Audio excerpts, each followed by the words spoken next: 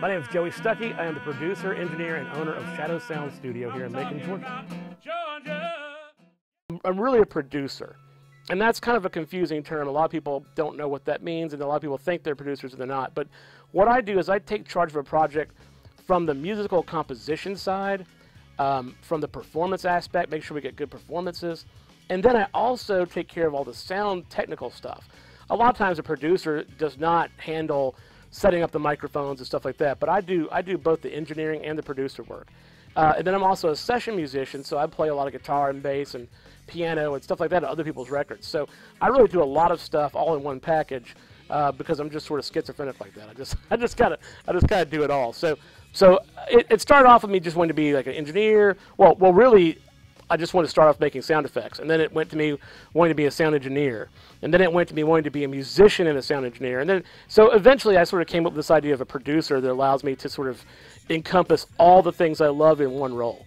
So that, that's kind of what I've done. And I've just kept doing it and doing it to the best of my ability. And that's led some places. So that's, that's made it possible to meet some amazing people. At the age of 13, I realized that I, sound was something I had an affinity for. And um, had a very interesting sort of childhood. I was sick a lot as a result of a brain tumor, and that's the reason I'm blind. And uh, it also basically destroyed my endocrine system, for, uh, which means that I take a lot of pills. Um, but they're all they're all prescriptive. All But um, so I, I, had a really hard time when I was about 13. I had pneumonia. Uh, for about six months, I had to be homeschooled, and um, it was a tough time, but it's when I really realized that sound is what I wanted to do. And so from that moment on, I put my mind towards being in the music business and being the sound business. My first idea of what I wanted to do was actually I wanted to make sound effects for TV and film. Um, and do some of that. But as I got older and got introduced to music in a real serious way, I realized that music was my medium. I started toting around recording devices at a pretty young age, and everywhere I'd go, if I heard an interesting sound, I'd stop. And my parents would indulge me and let me go record it. Now, what I had at the time was a little cassette recorder. It was nothing, it was, I mean, it was totally primitive. Um, interestingly, still today, I'm the same way. And my wife is so sweet and doesn't think I'm crazy when we stop on a street corner or we stopped somewhere and I was like, oh man, check out that sound, and I want to capture that and I record it. Now the tools I have are much more professional. But the step that I took essentially was having never really met a stranger. Um, when I was so sick when I was 13, I was listening to all these great NPR radio shows. And they used to do old radio dramas, like from the 40s and 50s and 60s. And, and modern radio dramas from the 70s and 80s as well. Radio dramas basically is, is the same thing as watching TV or a movie, but it's all done with sound effects, you know, dialogue and music. There's no there's no picture, but it's the same kind of experience, especially for me. So I started listening to that, and I started calling the DJ up that played this stuff on public radio. And I'll never forget him. His name's Rob Thomas, and he came over to my house and started teaching me what he knew about recording, which wasn't much, but it was enough to get me started. And then I went to the local electronic stores and bought as much recording equipment as I could find, you know, that was reasonable for a 13-year-old to have. And uh, I just continued doing it when I, I lived in Florida at that time. Then I moved to Macon when I was about 15. I graduated high school when I was 14. I moved to Macon when I was 15. And then I started going to Mercer when I was 16. But that sort of year hiatus from 15 to 16, I worked at the Museum of Arts and Sciences here in town. And I was there as sound technician. And I got that job because the guy I met, Rob Thomas, um, back when I was 13, 14 years old, he recommended me for the job because a friend of his was here in charge of the, of the planetarium. So I got the job doing that, and then a lot of people that worked there were roughly my age, a little bit older, and they were all in garage bands and stuff like that. And they're like, "Hey, we understand you got some recording equipment." Like, absolutely. Like, can we come to your house and record? Sure. So it all started there, and, and I really that's when the business actually took off. And then, you know, eventually I had people come to my house all the time recording, and my dad was like, "You know, you should have a, a space. You should have your own space to do this." So by the time I was 19, I was in the recording business in earnest and making records for a living. One of the reasons you want to hire me is the fact that I can't see. So all I'm doing is listening. There are no, when I'm listening, that's it. There's nothing else happening in my mind. Um, I don't think my ears are magically better than your ears. I don't think there's some sort of physiological change. I think what's different is the fact that I'm processing more information because it's all I've got. sight's a very powerful sense. And I think that you can sort of forget your other senses a little bit because sight's so powerful and people use it so much to understand the world around them. So for me, I don't have that. So I'm just processing more information a little faster, maybe a little bit more accurately because my ears are what I have to work with. Um, so I think that's the big difference. Find a green blanket on the beach, use the cold part of your heart to take walk in the shadows. When I moved here, I'd never heard of the Allman Brothers, and or, or any of those big Southern bands, uh, Wet Willie, uh, Marshall Tucker, Charlie Daniels. I, I had heard of, but the the the history of great Southern music that comes from this town is really almost uh, incomprehensible. I mean, it's just so mind blowing. You know, this is the home of Little Richard, the home of Otis Redding. Uh, the Allman Brothers chose to make this their home. Wet Willie chose to make this their home. In fact, my good friend is Jimmy Hall from Wet Willie. He they lived they were from Alabama originally, and he said, you know, back in the '70s they were like, okay, we've been playing a long time. If we can't make it in the next 18 months, we need to just quit and go get real jobs. And they were all 25, 26 years old and they said they, they said okay where could where should we move our music career to what place will help us actually have a career. Where do you think we can make it? Where do you think people will get it? And they chose to move from alabama to make it. And the rest is history. I mean they've had a ton of gold records. Keep on smiling huge song of theirs. Um, so i mean there's just so much there's just music in the water music in the air music in, in the blood of people that are from here. And even though i'm not originally from here. I mean, I, I feel like I'm from here. And I, I was named in 2006 the official music ambassador for, for Macon. That means a lot to me, and wherever I go, I talk about Macon and, and its history. And not only do I love its history, but I, I want to talk about its future. So I've done a lot to try and sort of help make sure that Macon has that bright musical future that we're, you know, in the 70s and 80s, late 60s even, we were thought of as the home of Southern rock and a lot of R&B too. Uh, and, and, we don't really have that place on the map anymore. And um, I mean, what that requires is a musical infrastructure. That's the only difference between making in LA, making in Nashville, making in New York, is they have a, a better infrastructure to support the art that's there. As far as talent goes, we can compete with all those places. So I'm working hard to try and make sure there's that infrastructure. And by infrastructure, I mean there are lots of venues that pay a decent wage for, for working musicians, but also not only do they pay a decent wage, but they also advertise the fact that there's going to be music there. Posting on Facebook's not enough.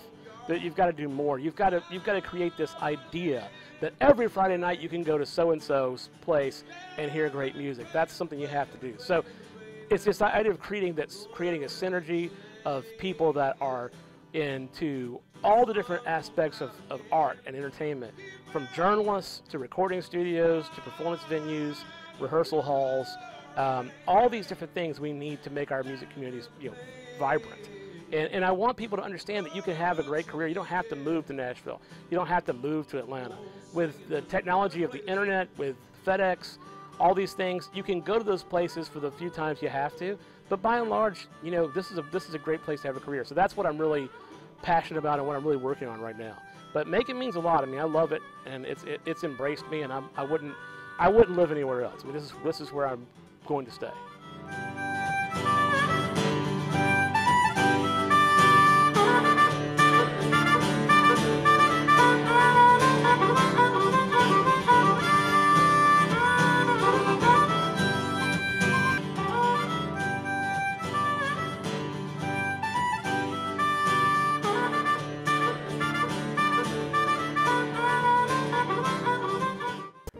Actually a Mercer girl. She um, is in the medical library at Mercer.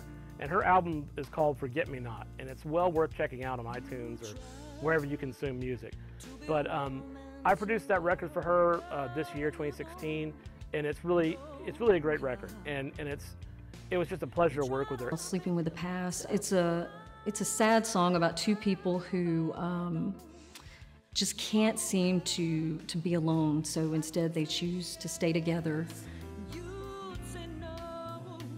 You know, we are the home of Otis Redding, and I think this is so great that, that Macon is now really showing you know, the artists that we have here today. So I couldn't be more excited and more happy to be a part of this CD. She kind of let me do whatever I wanted to do with the record. So whatever I said, she's like, "Oh yeah, that's great." So uh, that, I like that. that. That makes me happy.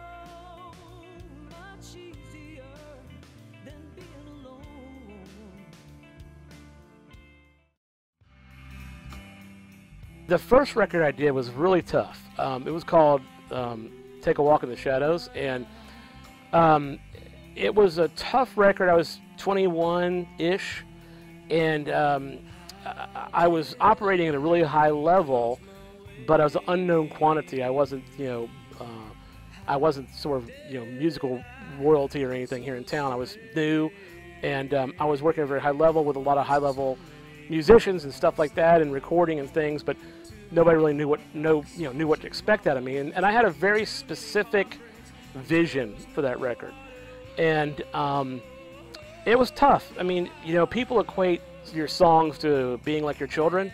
I think that's pretty fair. Um, I can call my child a jerk, but you can't. You know, you know. I mean, I think that's pretty fair. I mean, I think I can criticize my art, but you can't. You know, that's kind of. I think that's a pretty fair idea. That that that's kind of how we feel about it. And um, when you've when you've lived through something that's really emotional and has a real connection to you spiritually and, and something that shaped who you are, and you and you talk about that experience in song, it's real difficult because you're being really honest and open and exposed, and uh, so you you you yeah you feel kind of possessive. And so that first record was tough because a lot of people I was working with didn't believe in my vision, and I was like, well, you know, you, you can play it my way or you can go. I mean, no, was just like you know, this is this is it. This is how it's going to be. Right or wrong, this is how it's going to be. And looking back. Um, I definitely was a little bit too much controlling on that first record. I mean, I, I, mean, there's not, there's nothing on that first record. I mean, absolutely nothing. I'm not, I'm not kidding when I say this. I mean, from every drum fill, every, every, you know, percussion pattern, everything was by design. And um, if it wasn't perfect, I mean, we did it again and again and again and again. And um, I, I look back now, and that was that was too much. What what really you should do is surround yourself with talented people, have a vision, certainly be the captain of the ship, as it were, but allow them to do their job. So today I do that. I mean, I still produce and arrange everything, but I also have places where I allow other people to put their fingerprint on what I'm doing. Um, and, and, it's a much happier process. But that first record was really tough.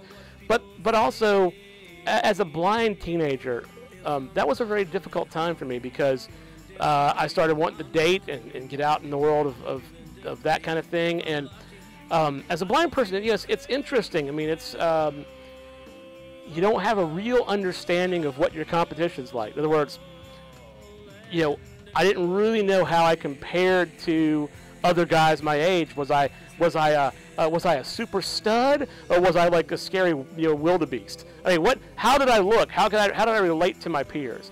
that was very that was a very trying sort of thing to understand. Eventually, what I under- realized is that it's all in your head, and um, how you feel about you is how you are, and um, that's really the minute that I understood that, uh, I, I had no trouble dating at all. Um, but it took me a while to kind of figure that out. So there was some pain, there was some there was some difficulty there. Um, so um, that's it. Right now, I'm working on a blues record, and it's called Blind Man Driving. Actually, it's Blind Man Driving apostrophe and and there's actually a video out for it. I encourage you to go look it up. It's pretty funny. Uh, Bibb County Sheriff's Department gave us an officer in a car, and it appears as if I'm being chased around town by the police. Everything I have done, I felt like such a fool. Every place I have brings me back to you.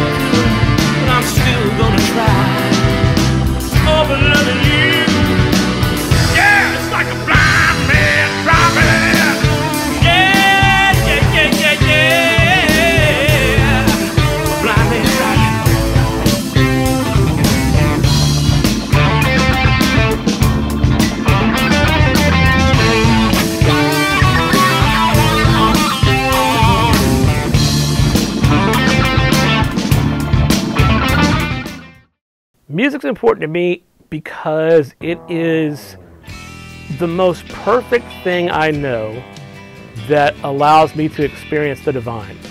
And what I mean by that is I feel like music's a true heavenly language. It's a language. It has syntax, it has grammar, it has punctuation. And, and it's it's just this universal thing that cuts through every barrier you can possibly think of. It, it can cut through language barriers, it can cut through race barriers, it can cut through any kind of barrier you put up, and it, it is enabling it, it, enables you to, to really be free. I mean, music's something you can lose yourself in. It's something that can pick you up when you're feeling low. It's something that can bring a sense of unity. So music's important to me because I just think it's, I think it is one of the true great powers of this earth. I think it's one of the truly great wonders we have. And I just think that it's, it's such a beautiful thing because at the end of the day, you know, what's important is this idea of connecting with other people, to, to be able to have a dialogue and to and to treasure these spirits that you encounter on earth. I mean, you know, I, I think that's just, I think the relationships are, is where it's at. I mean, I think knowing other people, being friends with other people, helping other people to grow, having them help you to grow, that's what it's all about. And music's so empowering, it's so powerful that it can do all that. It's a great medium for that kind of thing. So, I mean, it's the reason I get up in the morning. It really is. And and I also uh, use music as a, as a tool of healing. Um, it sounds kind of weird, but I have a, again, I told you I had a brain tumor because I'm blind. I've got a metal hip in this side because I had something called avascular necrosis, which meant that my hip bone literally just crumbled into dust. And uh, it was kind of a shock. I was in my late 20s and wasn't expecting that to happen. Ended up in a wheelchair for about six months. And the amount of pain I was in was staggering because my body, I'm one of those weird people who I don't metabolize narcotics. So pain medicine doesn't really work for me. And I use music as my pain medicine. So what I would do every morning when I was hurting so bad from this pain, I would, I would turn on some piece of music that utterly enthralled me. And I would listen to it and my mind would focus on the magic, the intricacies of that piece of music. And once I got my mind shifted away from the pain and focused on the music, I was able to keep that pain at bay for the rest of the day. It sounds a little metaphysical, sounds a little new age. It really, it really is not. But I mean, I mean, it, it's, you know, part of me, I'm an artist and a spiritual person, but I'm also a scientist because all this stuff behind you is very scientific and, and takes a good a scientific grasp of physics to work correctly. So uh, when I say that it's, it's, it was truly a, a painkiller for me, I mean, I'm, I'm as serious as I know how to be. So that's why music's important to me. It, it is really one of the greatest forces for good that I know.